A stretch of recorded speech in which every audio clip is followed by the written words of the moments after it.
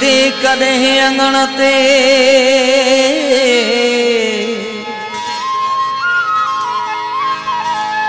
ਈਦੇ ਕਦੇ ਅੰਗਣ ਤੇ, ਥੀਂਦੇ ਮੂੰਹ ਜੋ ਤੂੰ ਮਹਿਮਾਨ।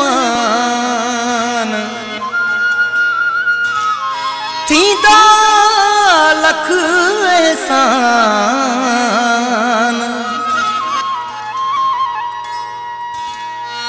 सजन तुंहिंजा सुमरो गुलान बि चवे वाटुनि ते तो लाइ अखियूं विछाया वेठो